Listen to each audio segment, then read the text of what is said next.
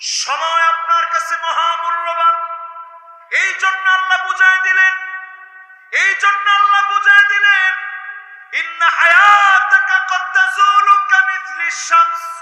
সূর্যটা ডলতে ডলতে যেমন ডুবে যায়, তোর জীবনটা ডলতেছে।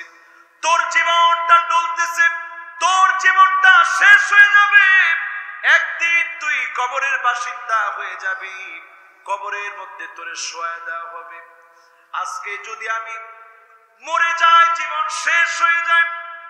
ইদা জালুহুম লা সাআতাও ওয়া লা ইস্তাকদিমুন। আজ যদি আমার জীবন শেষ হয়ে যায়, মাটির মধ্যে যদি আমাকে শোয়া দেওয়া হয়, আমার সব জমিন থেকে মুছে যাবে মানুষ আর কোনোদিন আজহারি বলবে না। মানুষ বলবে, লাশ কখন আসবে? লাশের গোসল কখন হবে? জানাজা কয়টার দিকে? লাশের দাফন কাফন কয়টার দিকে? আমি আপনি লাশ হয়ে যাব, অন্ধকার কবরের ভিতরে শোয়া দেওয়া হবে।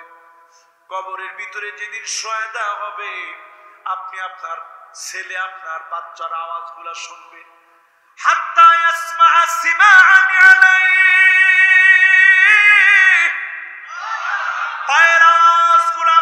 শুনবেন আত্মীয় স্বজন বন্ধু বান্ধব এক এক করে চলে যাবে।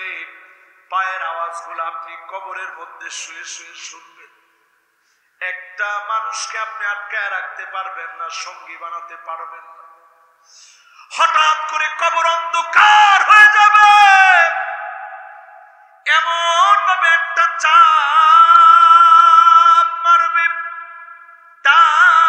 দিকের হাড়গুলা সব বাম দিকে চলে আসবে।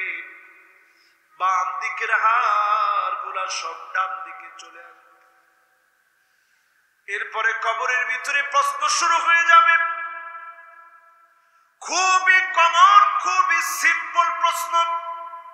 সবার জানা প্রশ্নগুলা যখন করা হবে, উত্তর যখন দিতে পারবেন না। হাত্তা ইয়াদরিবু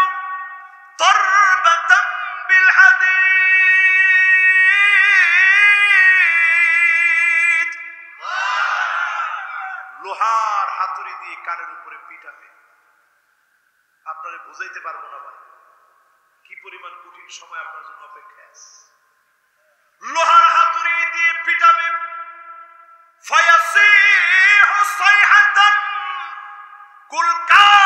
চিৎকার শুনে গরু বেঁধে রাখছে। গরু চিৎকার করে দৌড়ে দৌড়ি সিরে চলে গেছে। ছাগল বেঁধে রাখছে, ছাগলটা লাফানো শুরু করছে।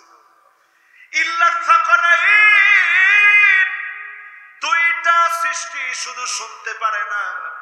একটা হচ্ছে মানুষ আর আরেকটা হচ্ছে জি এই দুইটা সৃষ্টি শুনে না।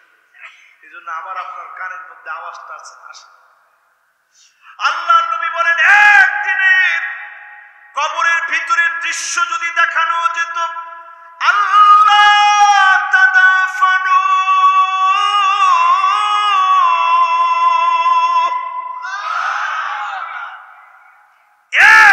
দৃশ্য যদি দেখানো যেত, দাফন কাফনের কথা ভুলে যেত, কিচ্ছু মনে থাকতো দাফন যে করতে হয়, এটা ভুলে যেতেন। একদিনের কবরে আজাবের দৃশ্য যদি দেখতে পেতেন। আল্লাহ দেখায় নাই কেন?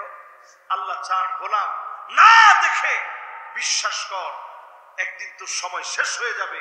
আনলিমিটেড এক সময় তোকে দিয়ে দিল ওই পুরা সময় তোকে নিয়ামত দিয়ে ভরপুর করে, তোর জীবনের গুণা খাতা মাফ করে, চক্ষু শীতল করা জান্নাত যিনি দান করবেন তিনি কে?